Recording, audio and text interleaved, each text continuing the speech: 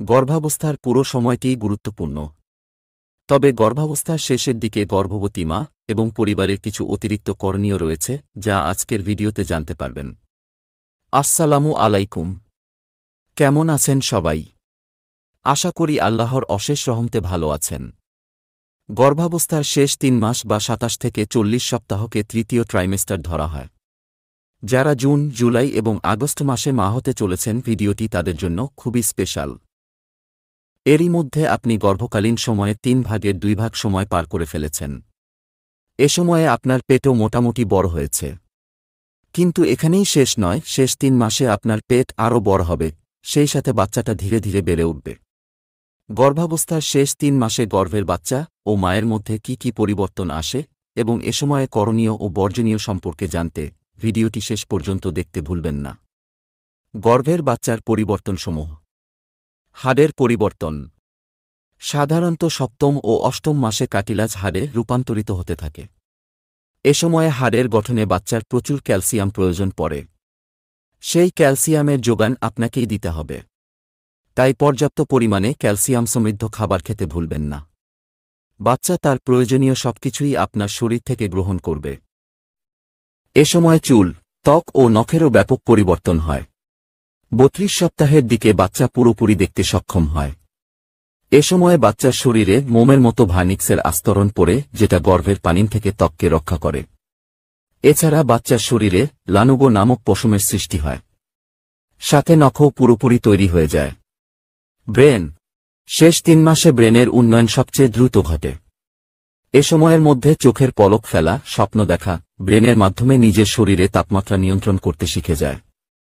সাঁত্রিশ সপ্তাহের মধ্যে প্রায় সকল বাচ্চার মাথা নিচে নামতে শুরু করে কিছু ব্যতিক্রম ব্যতীত। দুনিয়ায় আগমনের জন্য বাচ্চাও শেষ সময়ে প্রস্তুত হয়ে যায়। পরিপাকতন্ত্র। গর্ভাবস্থার শেষ সময়ে বাচ্চার দেহে মিকোনিয়াম নামক মলের সৃষ্টি হয়। এই মিকোনিয়াম মূলত রক্তকণা, ভার্নিক্স ও লানুগোর সমন্বয়ে গঠিত। এই মল বাচ্চার ক্ষুদ্রান্ত্রে জমা হতে থাকে। পঞ্চেন্দ্রিয়। উনত্রিশ থেকে একত্রিশ সপ্তাহের মধ্যে বাচ্চার পঞ্চেন্দ্রিয় পুরোপুরি সক্রিয় থাকে।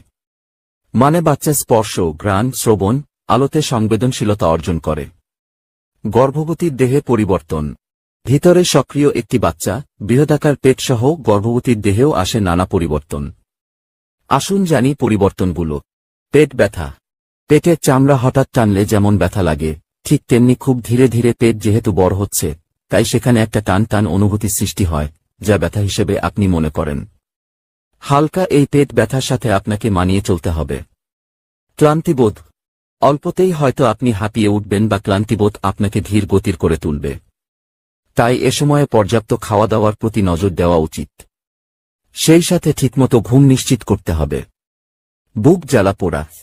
গর্ভকালীন শেষ সময়ে আপনার জরাজু পাকস্থলী ও তার উপাদানগুলোকে উপরের দিকে চাপ দিতে থাকবে। যার ফলে সৃষ্ট গ্যাসে আপনার বুক জ্বালাপোড়া হতে পারে। জ্বালাপোড়া বেশি হলে ডাক্তার দেখিয়ে হালকা কিছু ওষুধ খেতে পারেন। সংকোচন, প্রসারণ। সন্তান প্রসব প্রক্রিয়ার প্রস্তুতি হিসেবে আপনার জরাজুতে থেমে থেমে সংকোচন প্রসারণ হবে। যেটা আপনার কাছে ব্যথা হিসেবে মনে হতে পারে। তবে এটি স্বাভাবিক ঘটনা। Varicose vein. অনেক গর্ভবতীর শেষ দিকে ভ্যারিকোজ ভেইন দেখা দেয়, মূলত রক্তবাহী নালী এ সময়ে বাইরে দৃশ্যমান হয়ে উঠতে পারে। দেখতে একটু অদ্ভুত হলে এটাও স্বাভাবিক। মূলত রক্তপ্রবাহ বেড়ে যাওয়ার কারণে এমনটা হচ্ছে। তবে সন্তান প্রসবের পর এমনিতেই ঠিক হয়ে যাবে। ফাটা দাগ। ক্রমবর্ধমান বাচ্চার কারণে পেটের চামড়াতে প্রচণ্ড চাপ পড়ে, যার ফলে পেটে হয়তো ফাটা ফাটা দাগের সৃষ্টি হবে। যদি চুলকানি অনুভব করেন, তাহলে ভেজলিন ব্যবহার করুন। কোমর ব্যথা। শেষের দিকে কোমর ব্যথা আরও বাড়বে। বাচ্চাকে নরমালে প্রসবের জন্য আপনার নিচের অংশের হাটগুলোর জয়েন্ট ঢিল হতে থাকে। এর ফলে আপনি খুবই তীক্ষ্ণ একটা ব্যথা অনুভব করবেন। অদ্ভুত স্বপ্ন। প্রথমবার গর্ভবতীরা বাচ্চাকে নিয়ে অনেক দুশ্চিন্তায় ভোগেন।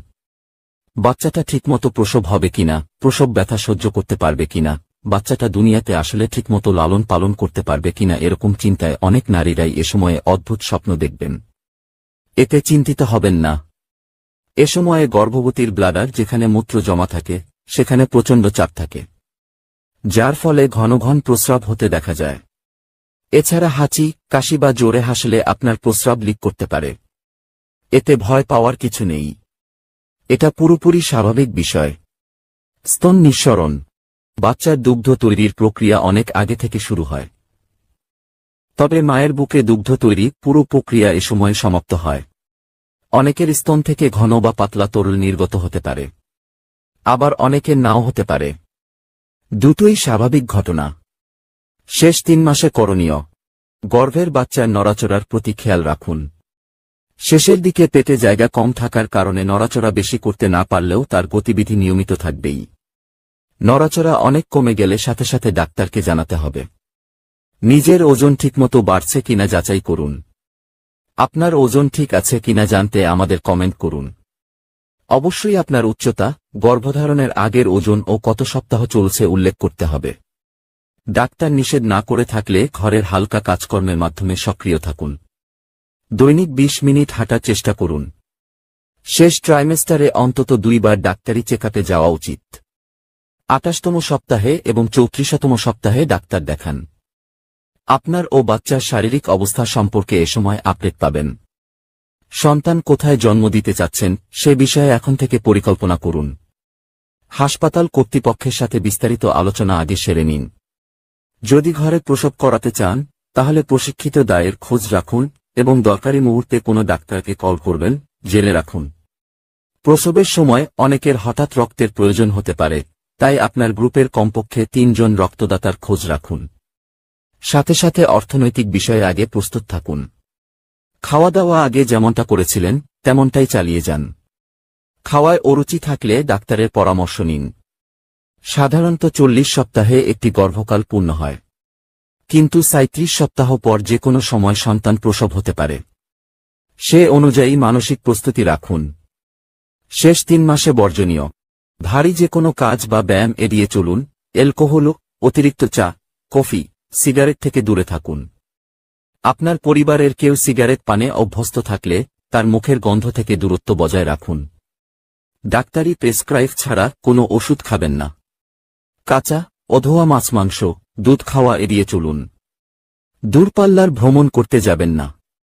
ক্রমবর্ধমান পেটের কারণে আপনার ওজনের ভারসাম্য পরিবর্তিত হবে। তাই পড়ে যাওয়া থেকে নিজেকে সতর্ক রাখুন। দরকার হলে কারও সাহায্য নিন। অনেক নিয়মকানুন মেনে চলা, শারীরিক নানা পরিবর্তন, ব্যথা। অসংখ্য বিধিনিষেধের বিনিময়ে একটি সুস্থ সুন্দর বাচ্চা পেতে চলেছেন। এই ভেবে হাসি খুশি থাকার চেষ্টা করুন।